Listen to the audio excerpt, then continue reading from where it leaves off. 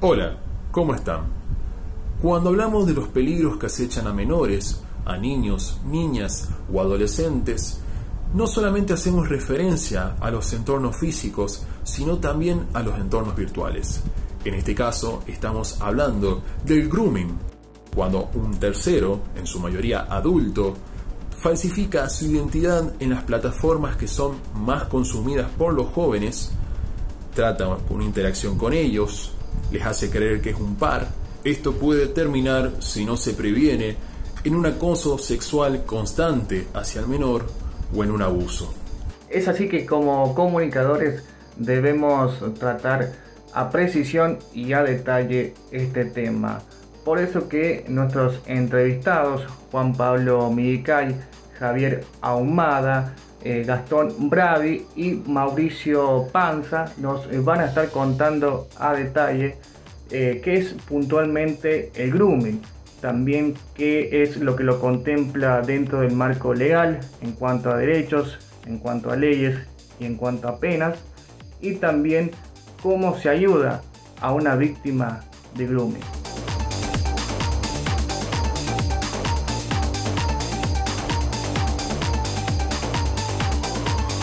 Con relación al delito de grooming, tenemos que decir que el mismo consiste básicamente en lo que es eh, el acoso eh, sexual a niños, niñas o adolescentes eh, por parte de un adulto, ejecutado a través de lo que son las tecnologías de transmisión de datos o telecomunicaciones, eh, en este caso de manera preponderante a través de lo que es Internet, eh, en donde encontramos eh, las redes sociales que utilizamos habitualmente, tales como Facebook, Twitter, Instagram, etcétera, a lo cual se le suman las salas de chats de los juegos online que nuestros niños, niñas o adolescentes utilizan habitualmente.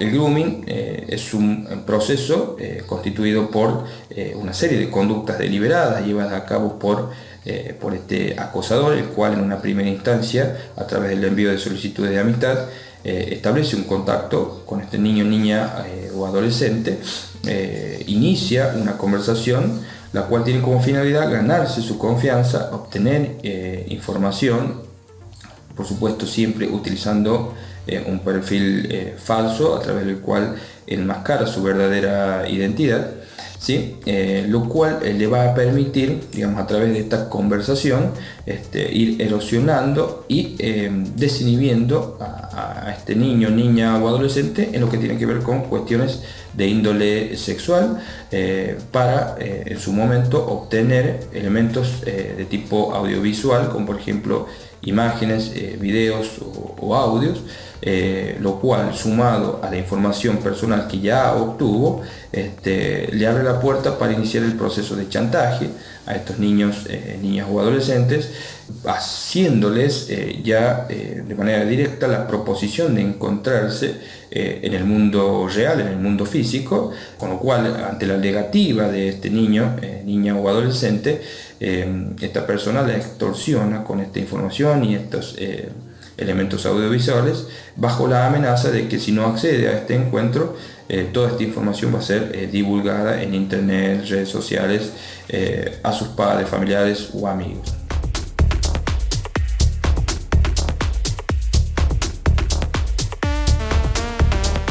En nuestro país eh, a partir del año 2013. Digamos, esta conducta es una conducta que está prohibida y por ende eh, castigada por nuestro Código Penal, ¿sí? Eh, el cual incorpora el delito de grooming en su artículo 131, estableciendo una pena de seis meses a cuatro años de prisión.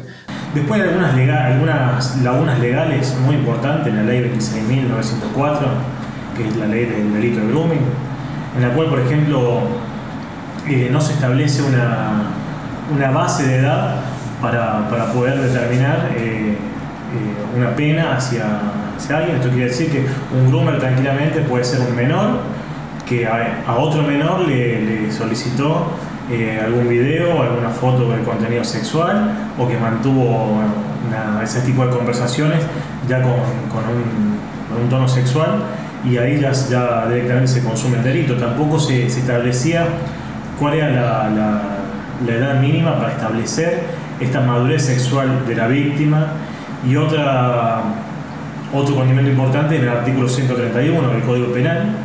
Eh, ahí se viola lo que es el principio para establecer una proporción igualitaria en lo que son las penas. El delito de grooming lleva de seis meses a cuatro años de, prisión, pero no hay algo muy claro en el cual eh, uno, uno, puede determinar tranquilamente y saber quién va a tener seis meses o ocho meses de prisión y quién puede tener el máximo, que son cuatro años. Eso queda a, libre albedrío del juez. Eh, y bueno, también depende mucho de del tema de si en este caso el, el condenado es reincidente o no. ¿Cómo se ayuda a la víctima? Bueno, con el niño, niña o adolescente se debe dialogar, evitar eh, avergonzarlo o culparlo que, que pueda contener, que pueda contar, digamos, con sinceridad lo que haya pasado, evitar interrogarlo, acompañarlo con afecto con el objetivo de protegerlo. No deben borrar ninguna conversación ni contenido del dispositivo, ya sea del PC o celular, en el que, hayan, eh, en el que se hallan estos, eh, estos tipos de contenido como elementos de prueba. También siempre decimos no bloquear ni escrachar al groomer en las redes sociales porque esto puede entorpecer a lo que es la investigación eh, de este delito. Los padres o adultos no hacerse pasar por la víctima porque esto podría hacer caer la causa. Bien.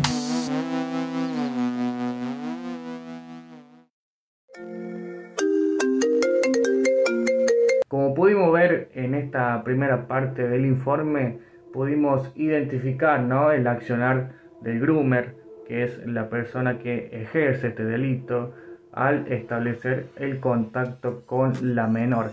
Y también pudimos identificar las leyes que podemos eh, recurrir ante este tipo de casos delictivos. Recordamos a toda la gente y sobre todo a las víctimas la línea 137 para denunciar en caso de grooming. En esta segunda parte del informe de Periodismo Joven nos adentramos al panorama de lo local, de la mano de las investigaciones de nuestros entrevistados. A su vez, nos preguntamos cuál es la razón que lleva al estudio de esta problemática más en profundidad, como así también cuál es el accionar de la provincia frente a ella. Además, también se estará hablando de la existencia de la ONG Grooming Argentina, que vela por la promoción, la protección y la defensa de los derechos de niños, niñas y adolescentes en el ecosistema Internet.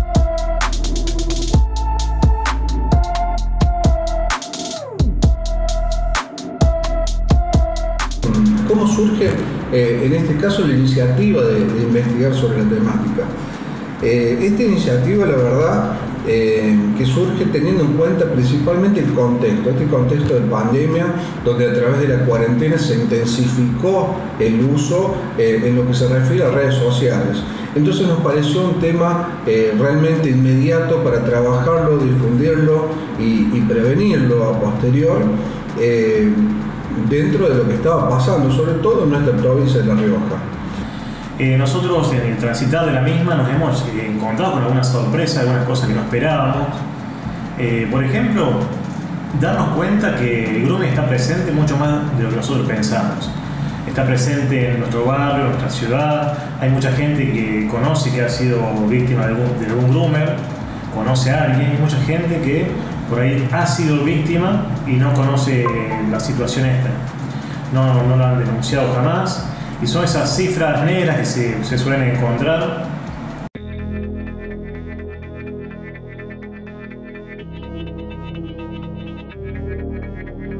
El comentarles que Grooming Argentina es una fundación que viene trabajando, que nació en el 2014, ya hace varios años que que viene trabajando y tiene presencia eh, en todo el, país. Dentro de, la ONG de Grooming Argentina se trabaja en la prevención, como mencionaba, brindando jornadas de sensibilización, de concientización y capacitaciones al mundo adulto, a niños, niñas y adolescentes. También cuenta con un eh, programa de voluntariados que pueden sumarse a esta iniciativa, formar parte de la ONG como voluntarios y poder ayudar a combatir la lucha contra el grooming. También se realizan diferentes capacitaciones sobre amenazas que pueden derivar en otros delitos contra los niños, niñas y adolescentes. También la ONG cuenta con un grupo y equipo de asistencia de tanto de la parte psicológica como de la parte de legales. Esta asistencia hacia las víctimas es totalmente eh, gratuito, eh, por lo cual eh, en la organización está disponible las 24 horas para cualquier denuncia que pueden realizarla vía anónima o bien a través de un número de WhatsApp que pueden encontrar en su página web eh, ahí van a encontrar toda la información.